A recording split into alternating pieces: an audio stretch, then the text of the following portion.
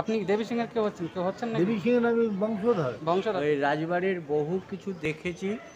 একদিন ঝুলন ছিল রথ ছিল হ্যাঁ এবং এখানে রাজাদের আনাগোনা ছিল।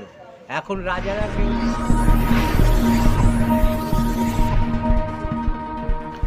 হ্যালো হোয়াটসঅ্যাপ গাইস কেমন আছো সবাই? আশা করি তোমরা সবাই ভালো আছো।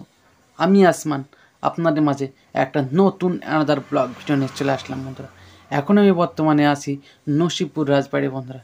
এর আগে একটা ভিডিও করেছিলাম এখানে ভিডিওটি সেরকম রেসপন্স পায়নি বন্ধুরা। আজকে আবারও চলে আসলাম সেই নসিপুর রাজবাড়ির দ্বিতীয় পর্বর ভিডিও নিয়ে বন্ধুরা। আমি আই বাটনে দিয়ে দেব এখানকার এই পার্ট ওয়ানের ভিডিও তো অবশ্যই তোমরা যদি ভিডিওটি ভালো লাগে, দেখে আসতে পারো বন্ধুরা। এখান থেকেই আমরা এখন যাচ্ছি সেই নসিপুর রাজবাড়ির অন্তর্মহল বন্ধুরা।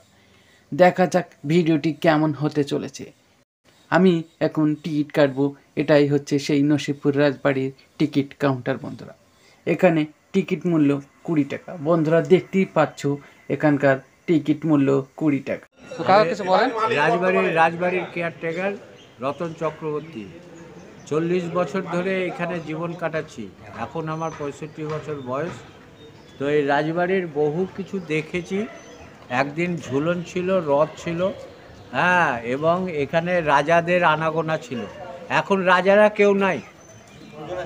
তো কাকা অনেক কিছু এখানে কাকা কেয়ার টেকার ছিল হ্যাঁ। চল্লিশ বছর ধরে কেয়ার টেকার করছে এখনও করছে অবশ্য। এখনও আছে। তো কেয়ার টেকার হিসেবে বেতন কত পান আপনি? আমাদের বেতন খুব সামান্য তিন হাজার চার হাজার এইরকম যে কটা আছে। এটা কি এটা কি তবে- সরকারি হিসাবে বেতন না না সরকারি না। তাহলে? এটা প্রাইভেট প্রপার্টি প্রাইভেট বর্তমান মালিক হচ্ছে রঞ্জয় সিনহা। রঞ্জয় সিনহা কি হ্যাঁ। হচ্ছে দেবী সিং এর দেবী সিং এর অষ্টম পুরুষ এইট জেনারেশন হ্যাঁ। বর্তমানে মালিক। আট নম্বর পুরুষ মানে হ্যাঁ আট আট আটতম পুরুষ। হ্যাঁ। অষ্টতম জেনারেশন এখন বর্তমান চালাচ্ছে।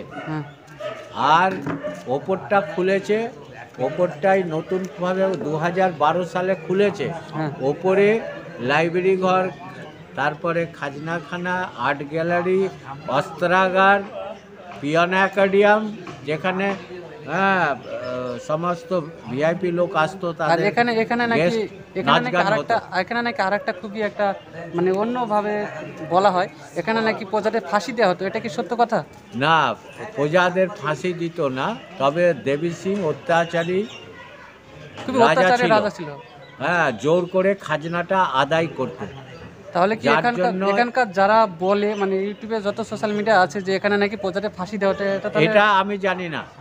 এটা কি তাহলে মানে কাল্পনিক একটা কল্পনা? এটা কাল্পনিক। এখানে মুর্শিদাবাদে বহু কিছু কাল্পনিক ব্যাপার আছে। যে ব্যাপারগুলো যারা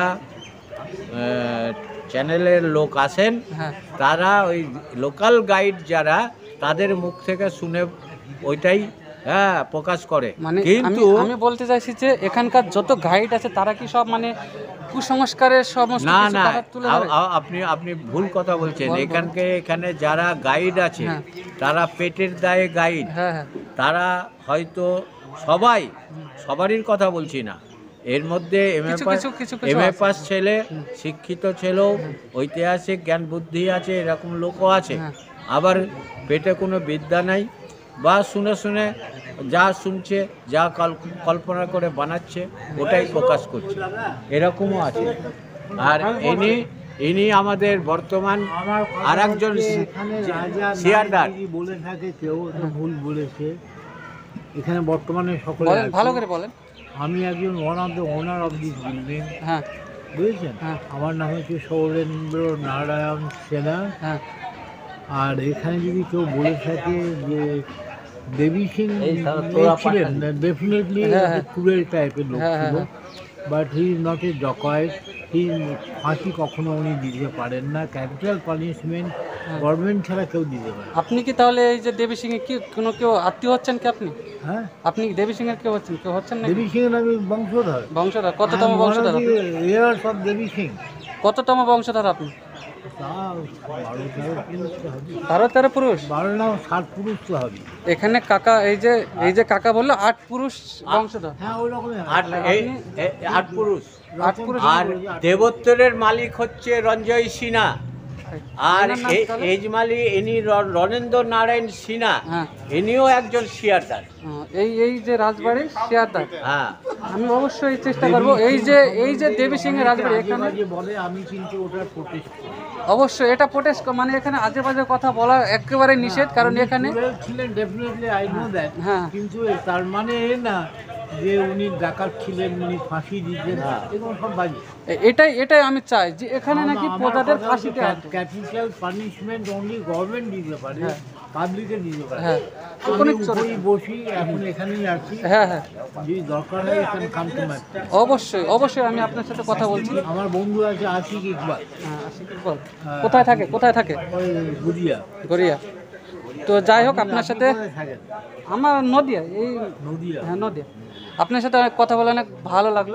তো আপনি যেহেতু এই দেবী সিংয়ের বংশধর তো আপনার সাথে সাক্ষাৎ করে অনেক ভালো লাগল। তো আপনি ভালো থাকুন। আমি একটু ভিতরে প্রবেশ করি। ঠিক আছে ওয়েলকাম তো কাকা আমি যে কথা বলেছি হ্যাঁ। সত্য কথা। হ্যাঁ। উনিও একজন শেয়ারদার হ্যাঁ। তবে আপনি তাহলে দেবোত্তরের আসল মালিক হচ্ছে রঞ্জয় সিনহা। রণেন্দ্র নারায়ণ সিনহার পুত্র। পুত্র। এটা এটা এনার এনার আর এক আর এক শরিকানা। এটা এনার বাবার নাম ভূপেন্দ্র নারায়ণ সিনহা। আর বর্তমানে যিনি দেবোত্তরের মালিক তার বাবার নাম রণেন্দ্র নারায়ণ সিনহা। আর সব ভাই হ্যাঁ, ভাই। তবে এনারা বহু পুরাতন লোক ব্রিটিশের লোক ছিলেন এক কথাই বলা যায়। হ্যাঁ ইস্ট ইন্ডিয়া কোম্পানির রেভিনিউ কালেক্টর দেবী সিং। তো বন্ধুরা দেখতে পাচ্ছ এখানে অনেক রকম কথাই আমি শুনলাম। এখন আমি ভিতরে প্রবেশ করিনি বন্ধুরা। তো অবশ্যই ভিতরে প্রবেশ করবে কিছু দৃশ্য তোমাদেরকে দেখাবো। তো এখানে যদি বলা হয়ে থাকে যে ইউটিউবে সোশ্যাল মিডিয়া অনেক কিছু হয় তো এখানে নাকি প্রজাদের ফাঁসি দেওয়া হতো অনেক রকম কথা কাল্পনিক চরিত্র তুলে ধরার চেষ্টা করে ইউটিউবাররা যত ভাইরাল করার জন্য। তো অবশ্যই এটা সত্য কথা নয় অনেক রকম কাকা ছিল অনেক মানে এখানকার বংশধর যে দেবী সিংহের অষ্টমতম বংশধর। তার সাথে আমি কথা বললাম সাক্ষাৎ করলাম। তো আমি এখন ভিতরে কিছু দৃশ্য তোমাদের দেখাই। তো সাথে থাকো জিনপো ব্লগস। এই যে বন্ধুরা দেখতে পাচ্ছ এটা হচ্ছে প্রবেশ পথ।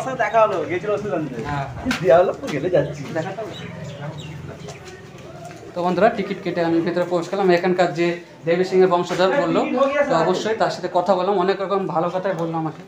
মানে তুলে ধরার চেষ্টা করছি এই জায়গায় যে প্রজাদের ফাঁসি দেওয়া হতো, অনেক তো সেই যেগুলা জানে কাল্পনিক চরিত্র হিসাবেই তুলে ধরা তো বন্ধুরা, এখানে গাইড নিলাম না, কারণ আমার গাইডের চেয়ে তো অনেক ভালো কথা বলল। কারণ এই যে দেবী সিংয়ের অষ্টমতম পুরুষ বাইরে বসে আছে বলল মানে শিয়ার হিসাবে আছে। তো তার সাথে কথা বললাম, অনেক রকম কথা বলল আমাকে। মানে তুলে ধরার চেষ্টা করছি। এটা হচ্ছে সেই নসিপুর রাজবাড়ির অন্দরমহল। এটা হচ্ছে একতলার মিউজিয়াম। আমি ভিতরে প্রবেশ করার চেষ্টা করছি। যে নসিপুর রাজবাড়ির ভিতরে অন্দরমহলে কিছু দৃশ্য তোমাদেরকে দেখাচ্ছি। তো তোমরা আমার সাথে থাকো। আর চ্যানেলে এখনও যারা সাবস্ক্রাইব করেনি, অবশ্যই চ্যানেলটি সাবস্ক্রাইব করো। আর সাথে থাকো জিনপো ব্লগস। তো বন্ধুরা বাইরে অনেকেই আমাকে বলল যে এখানে নাকি প্রজাদের ফাঁসি দেওয়া হতো না। কারণ দেবী সিং অবশ্যই অনেক অত্যাচারের রাজা ছিল।